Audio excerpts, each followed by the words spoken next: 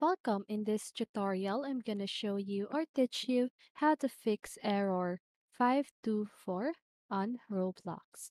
So if you want to know how I did it, just keep on watching. So first of all, you want to open your browser and search for roblox.com. Then after that, just go ahead and log in your account. And once you've logged in your account, just go ahead and click on the settings icon at the upper right corner of your screen. Now click on settings.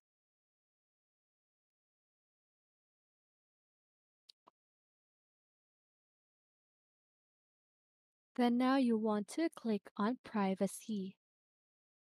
So now you want to change these settings, okay? So here you can make a member of their who can make me a member of their private server, you want to choose everyone. Here you just want to enter your PIN. Here who can join me in experiences, click everyone.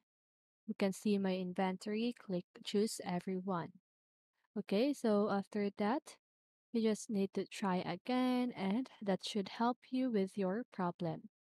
So I hope this video helped you and if it did, make sure to like, subscribe, and hit the bell notification so you won't miss a video. See you on the next one and have a great day.